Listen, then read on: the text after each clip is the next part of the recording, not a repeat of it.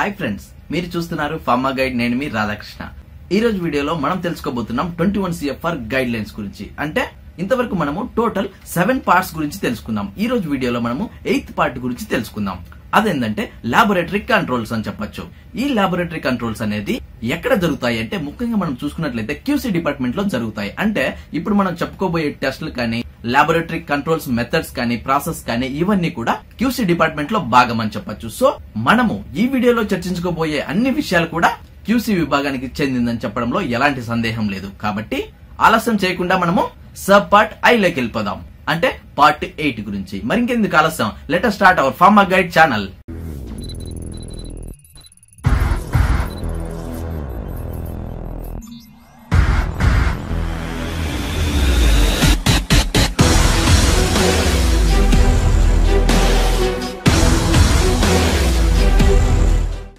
చూడండి ఫ్రెండ్స్ ఈ రోజు వీడియోలో మనము సబ్ పార్ట్ ఐ గురించి మాట్లాడుకుందాం. అంటే ట్వంటీ వన్ సిఎఫ్ఆర్ గైడ్ లైన్స్లో ఉన్నటువంటి పార్ట్ ఎయిట్ గురించి మాట్లాడుకుందాం.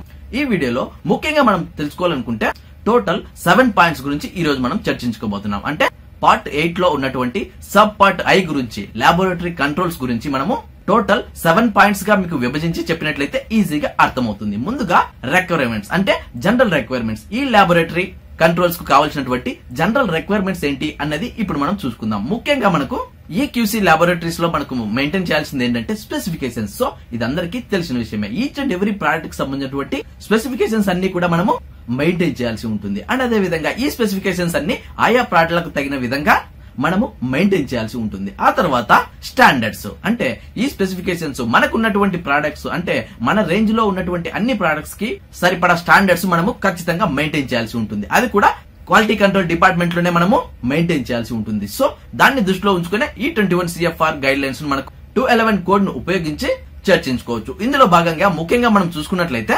శాంప్లింగ్ ప్లాన్స్ అంటే మన ప్రోడక్ట్కు అనుగుణంగా మనము శాంపిల్స్ ఎప్పుడెప్పుడు తీసుకోవాలా అన్న విషయం మీద మనకు ఒక పక్కా ప్లానింగ్ ఉండాలన్నమాట. సో ఆ ప్లానింగ్స్ అన్ని దృష్టిలో పెట్టుకొని ఈ శాంప్లింగ్ ప్లాన్స్ను మనము ప్రవేశపెట్టడం జరుగుతుంది. సో ఈచ్ అండ్ ఎవ్రీ ప్రోడక్ట్కి మధ్య మధ్యలో ఇంటర్వెల్స్ లాగా ఈ శాంపిల్ ప్లాన్స్ను మనము అప్లై చేస్తూ ఉండాలి. సో అప్పుడే మనకు తెలుస్తుంది ఏ రియాక్షన్ ఎంతవరకు జరుగుతుంది ఎలా జరుగుతుంది అని మనకు ప్రాక్టికల్గా ఇలాంటి ప్లాన్స్ను ఉపయోగించే మనము ఆ రియాక్షన్స్ యొక్క స్ట్రాటజీని కనుక్కోవచ్చు. నెక్స్ట్ వచ్చేసి టెస్ట్ ప్రొసీజర్స్ అని చెప్పొచ్చు. అంటే ఈ టెస్ట్లన్నీ మనం చేయడానికి అనుగుణంగా మనకు ఒక పక్క ప్రొసీజర్ అయితే ఉండాలి. అంటే ఏదైనా ఒక టెస్ట్ మనం చేయాల్సి వచ్చినప్పుడు ఆ టెస్ట్కు సంబంధించినటువంటి ఈచ్ అండ్ ఎవ్రీ స్టెప్ మనకు ప్రొసీజర్ వారీగా మనకు ఒక డాక్యుమెంట్ ఎవిడెన్స్ రూపంలో మనకు కళ్ళ ముందు ఉండాలి. సో అలా ఉండాలంటే అవన్నీ మనము టెస్ట్ ప్రొసీజర్స్ని మెయింటైన్ చేయాలన్నమాట.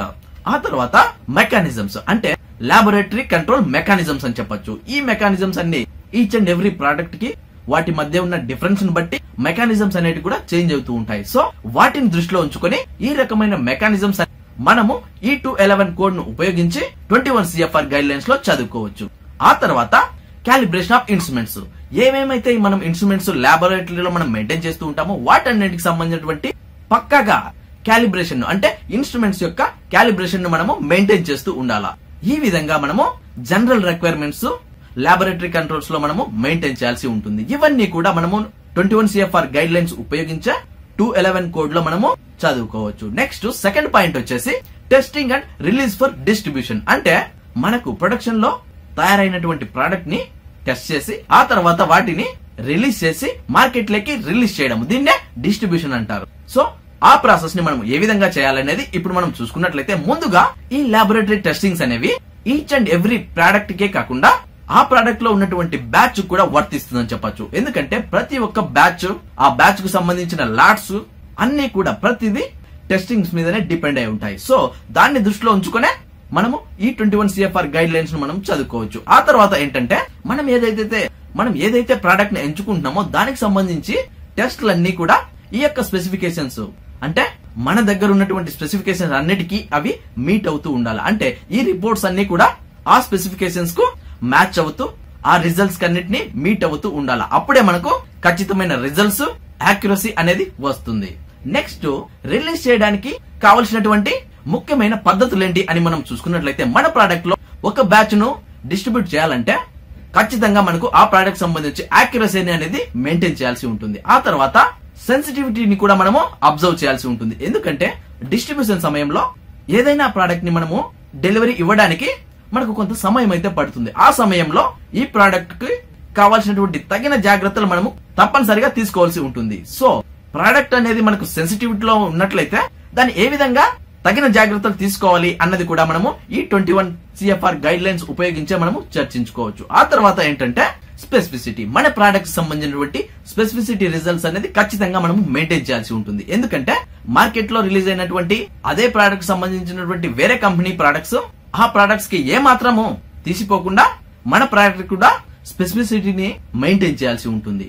ఆ తర్వాత రీప్రొడ్యూసిబిలిటీ అని చెప్పొచ్చు. ఎందుకంటే ఒక ప్రోడక్ట్ నుండి ఒక బ్యాచ్ ఫినిష్ అయిన తర్వాత ఇమ్మీడియట్గా మనకు ఇంకో ఆర్డర్ వచ్చినప్పుడు అంటే కస్టమర్ నుంచి మనకు ఇంకో ప్రోడక్ట్ ఆర్డర్ వచ్చినప్పుడు ఇమ్మీడియట్గా మనము మ్యానుఫ్యాక్చరింగ్ స్టార్ట్ చేసే విధంగా మనకు రీప్రొడ్యూసిబిలిటీ అనేది తప్పనిసరిగా మనము మెయింటైన్ చేయాల్సి ఉంటుంది. సో దాన్ని దృష్టిలో ఉంచుకొని ఈ టూ ఎలవెన్ కోడ్ను ఉపయోగించి ట్వంటీ వన్ సిఎఫ్ఆర్ గైడ్ లైన్స్లో చదువుకోవచ్చు.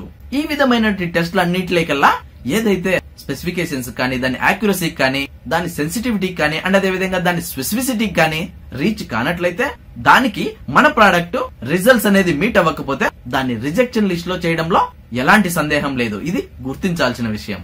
ఆ తర్వాత థర్డ్ పాయింట్ వచ్చేసి స్టెబిలిటీ టెస్టింగ్స్. అంటే ఇది వచ్చేసి ప్రతి ప్రోడక్ట్కి సంబంధించినటువంటి స్టెబిలిటీ టెస్టింగ్స్ అనేది మనము మన ల్యాబొరేటరీలో ఖచ్చితంగా మెయింటైన్ చేయాల్సి ఉంటుంది. అవన్నీ ఏంటంటే ఒక్కొక్క ప్రోడక్ట్కు సంబంధించినటువంటి టెస్ట్లన్నింటినీ కూడా మనము తూచా తప్పకుండా చేయాల్సి ఉంటుంది. ఎందుకంటే వాటి వాటి ధర్మాలను అవి సక్రమంగా నిర్వర్తిస్తున్నాయో లేదో మనము ఈ లాబొరేటరీలోనే చెక్ చేయాల్సి ఉంటుంది. కాబట్టి ఇవన్నీ వేటి మీద ఆధారపడి ఉంటుందంటే ముఖ్యంగా మనం చూసుకున్నట్లయితే శాంపుల్ సైజ్ అని చెప్పొచ్చు.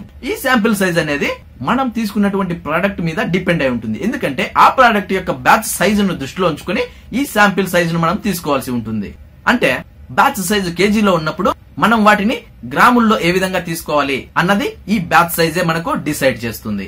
ఆ తర్వాత టెస్ట్ ఇంటర్వెల్స్. ఎందుకంటే ఈ విధంగా మనకు ప్రాసెస్ జరుగుతున్నప్పుడు మ్యానుఫ్యాక్చరింగ్లో కానీ ప్యూరిఫికేషన్లో కానీ ఇలాంటి మెథడ్స్లో ప్రాసెస్ జరుగుతూ ఉన్నప్పుడు ఏ రియాక్షన్ ఎంతవరకు జరిగింది అని మనం తెలుసుకోవడానికి ఈ టెస్టింగ్ ఇంటర్వెల్ ఎంతగానో తోడ్పడతాయని చెప్పొచ్చు. ఎందుకంటే ఈచ్ అండ్ ఎవ్రీ ఇంటర్వెల్కి మనం శాంపిల్ కలెక్ట్ చేసుకుని దాన్ని టెస్టింగ్ చేయడం ద్వారా రియాక్షన్ యొక్క పూర్తి స్థాయి కదలికలను మనం అబ్జర్వ్ చేయొచ్చు.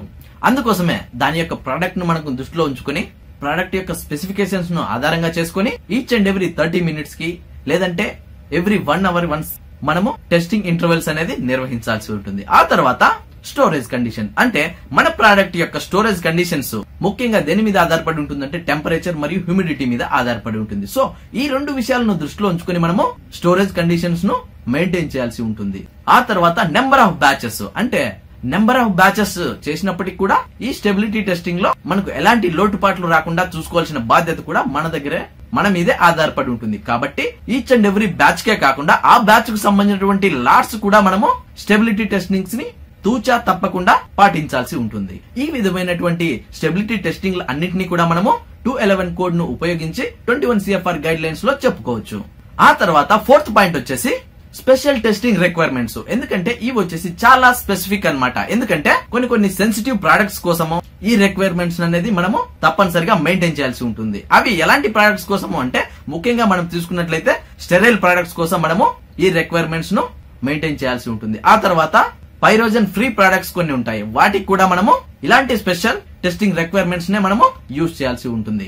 ఆ తర్వాత ఆప్థాల్మిక్ ఆయింట్మెంట్స్ ప్రిపేర్ చేసేప్పుడు మ్యానుఫ్యాక్చరింగ్ చేసేటప్పుడు ఇలాంటి స్పెషల్ టెస్టింగ్ రిక్వైర్మెంట్స్ను మనము యూజ్ చేయాల్సి ఉంటుంది. ఈ విధంగా మనము టూ ఎలెవెన్ కోడ్ను ఉపయోగించి స్పెషల్ టెస్టింగ్ రిక్వైర్మెంట్స్ను మనము మెయింటైన్ చేయాల్సి ఉంటుంది. ఆ తర్వాత ఫిఫ్త్ పాయింట్ వచ్చేసి రిజర్వ్ శాంపిల్స్ అని చెప్పొచ్చు. వీటిని మనము రిజర్వ్ చేయాల్సి ఉంటుంది. అంటే ఈ శాంపిల్స్ మనము మెయింటైన్ చేయాలి. ఎప్పటి వరకు మెయింటైన్ చేయాల్సి? అంటే ఆ ప్రోడక్ట్ యొక్క సెల్ఫ్ లైఫ్ ఎంత వరకు ఉంది? అంటే ఆ ప్రోడక్ట్ యొక్క ఎక్స్పైరీ ఎన్ని సంవత్సరాల వరకు ఉంది? అన్ని సంవత్సరాలు మనము రిజర్వ్ చేయాల్సి ఉంటుంది ఈ శాంపిల్స్ను. ఎందుకంటే ఆ ప్రోడక్ట్ సంబంధించి లేదా ఆ బ్యాచ్కి సంబంధించి ఎప్పుడు మనకు శాంపిల్స్ కావాలనిపించినా ఏ టైంలో మనకు ఆ బ్యాచ్కి సంబంధించి టెస్ట్లు కంప్లైంట్స్ వచ్చినా కూడా మనము అప్పుడప్పుడు టెస్ట్ చేసి ఆ కంప్లైంట్స్ను రెక్టిఫై చేసే మార్గం కోసం ఈ రిజర్వ్ శాంపిల్స్ మనము మెయింటైన్ చేయాల్సి ఉంటుంది. ఇంకా కొన్ని ప్రొడక్ట్స్కి అయితే ఆ ఎక్స్పైరీ పూర్తి అయిన తర్వాత కూడా మనం మెయింటైన్ చేయాల్సి ఉంటుంది. అలా అంటే ప్రోడక్ట్ యొక్క స్పెసిఫికేషన్ బట్టి ఒక ప్రోడక్ట్కి ఎక్స్పైరీ అయిపోయిన తర్వాత కూడా అంటే వన్ ఇయర్ తర్వాత కూడా మనము శాంపిల్స్ను మెయింటైన్ చేయాల్సి ఉంటుంది.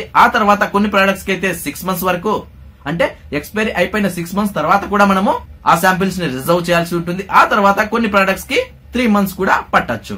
ఈ విధంగా రిజర్వ్ శాంపిల్స్ని మనము ఎక్స్పైరీ డేట్ తర్వాత కూడా మనము మెయింటైన్ చేయాల్సి ఉంటుంది. అది కూడా ఈ టూ ఎలెవెన్ కోడ్ను ఉపయోగించి ట్వంటీ వన్ సిఎఫ్ఆర్ గైడ్ లైన్స్లో మనము చర్చించుకోవచ్చు. నెక్స్ట్ సిక్స్త్ పాయింట్ మనం చూసుకున్నట్లయితే లాబొరేటరీ అనిమల్స్ ఇవి వచ్చేసి చాలా ఇంపార్టెన్స్ మరియు కీ రోల్ పాత్రను పోషిస్తుందండంలో ఎలాంటి సందేహం లేదు. ఎందుకంటే చాలా టెస్టులు మనము అనిమల్స్ మీద చేయాల్సి ఉంటుంది. అది కూడా ఈ లాబొరేటరీ అనిమల్స్ మీద. తప్పనిసరిగా చేయాల్సినటువంటి టెస్టులు కొన్ని ఉంటాయి. సో వాటి కోసమే సపరేట్గా ఈ అనిమల్స్ను పెంచుతారనడంలో ఎలాంటి సందేహం లేదు. ఎందుకంటే నార్మల్గా బయట ఉన్న అనిమల్స్కి లాబొరేటరీలో పెంచినటువంటి అంటే ఈ టెస్ట్ల కోసము పెంచినటువంటి అనిమల్స్కి ఉన్నటువంటి డిఫరెన్స్ చాలా ఉంటుందన్నమాట. సో ఆ డిఫరెన్స్ను దృష్టిలో ఉంచుకునే టెస్ట్లకు కావాల్సినటువంటి అనిమల్స్ని అదే లాబొరేటరీలో పెంచడం జరుగుతుంది. సో ఈ లాబొరేటరీ అనిమల్స్ని మనము దేని దేనికోసం వాడతాము అంటే టెస్టింగ్ కాంపోనెంట్స్ కోసం అదే విధంగా ఇన్ ప్రాసెస్ మెటీరియల్స్ కోసం అండ్ అదే విధంగా డ్రగ్ ప్రోడక్ట్ కంప్లైంట్స్ కోసం ఈ లాబొరేటరీ అనిమల్స్ను మనము యూజ్ చేస్తూ ఉంటాము. సో ఈ విధంగా ఈ అనిమల్స్ను పెంచే పద్ధతి అయితేనేమి? దాన్ని పోషించే పద్ధతి అయితేనేమి? వీటన్నిటిని కూడా పక్క అడిక్వేట్ డాక్యుమెంట్లో అంటే రికార్డ్స్ రూపంలో మనము మెయింటైన్ చేయాల్సి ఉంటుంది. ఒక్క అనిమల్స్ను మెయింటైన్ చేయడమే కాకుండా వాటికి సంబంధించినటువంటి సపోర్టింగ్ డాక్యుమెంట్స్ కూడా మనము మెయింటైన్ చేయాల్సి ఉంటుంది. ఈ విధమైనటువంటి మెయింటెనెన్స్ని మనము ట్వంటీ వన్ సిఎఫ్ఆర్ గైడ్ లైన్స్లో చర్చించుకోవచ్చు. ఆ తర్వాత ఫైనల్ పాయింట్ మనం చూసుకున్నట్లయితే సెవెంత్ పాయింట్ ఇది వచ్చేసి పెన్సిలిన్ కంటామినేషన్ అని చెప్పొచ్చు. అంటే మన ప్రోడక్ట్కు పెన్సిలిన్ అనుకున్నట్లయితే ఆ ప్రోడక్ట్లో పెన్సిలిన్కి సంబంధించినటువంటి ట్రేసెస్ మనము అబ్జర్వ్ చేయాలి. ఆ తర్వాత అది కాకుండా వేరే ఏదైనా ఫారెన్ పార్టికల్ కానీ ఫారెన్ కాంపోనెంట్స్ కానీ మనము అబ్జర్వ్ చేసినట్లయితే వాటిని ఏమంటామంటే నాన్ పెన్సిలిన్ కంటామినేషన్ అని చెప్పడం జరుగుతుంది. సో దాన్ని దృష్టిలో ఉంచుకొని ఈ విధమైనటువంటి అంటే ఆ ప్రోడక్ట్ పెన్సిలిన్ కంటామినేషన్ జరిగిందా?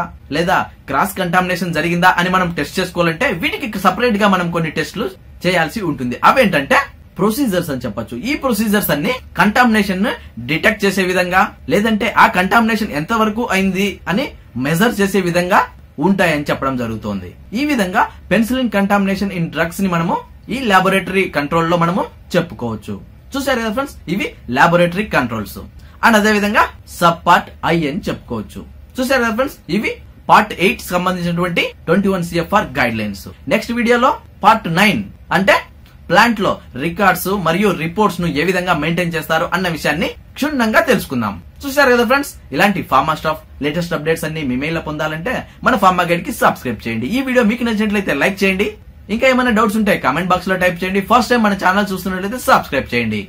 మీరు లైక్ చేసి నన్ను ఎంకరేజ్ చేసినట్లయితేనే నేను ఇలాంటి మంచి మంచి టాపిక్స్ మీ ముందుకు తీసుకొస్తాను. Thank you for watching. జై హింద్.